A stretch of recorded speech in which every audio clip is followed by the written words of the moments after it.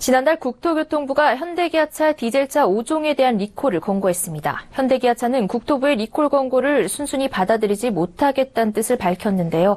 결함이 운전자의 안전과 직접 관련이 없어 별 문제가 없다는 겁니다.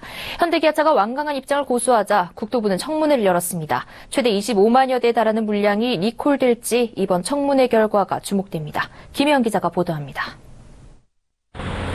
진공 파이프 손상, 허브너트 풀림, 캐니스터 결함, R엔진 연료호스 손상, 주차 브레이크 경고 등 불량.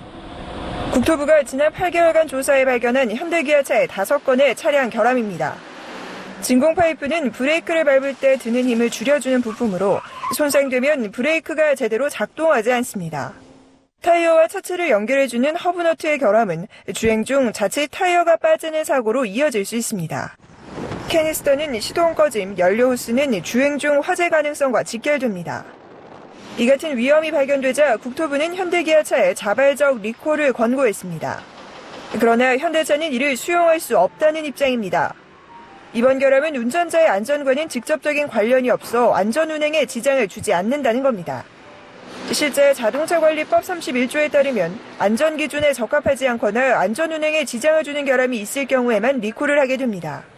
즉 이 두 가지 규정만 잘 지켰다면 결함이 있더라도 리콜을 하지 않아도 되는 겁니다. 그러나 리콜 결정에 열쇠를 쥔 국토부의 입장은 단호합니다. 국토부는 현대기아차가 리콜 권고를 수용하지 않자 강제 리콜을 가릴 첫 청문회를 열었습니다.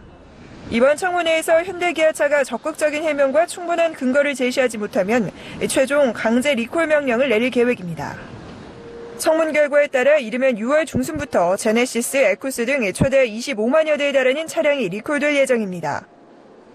앞서 17만여 대에 달하는 세터2 엔진 리콜에 이어 주력 차종이 줄줄이 리콜되면서 품질 경영 논란의 중심에 선 현대기아차. 과연 이번 청문회를 통해 흉기차라는 오명을 벗을 수 있을지 주목됩니다. 서울경제TV 김혜영입니다.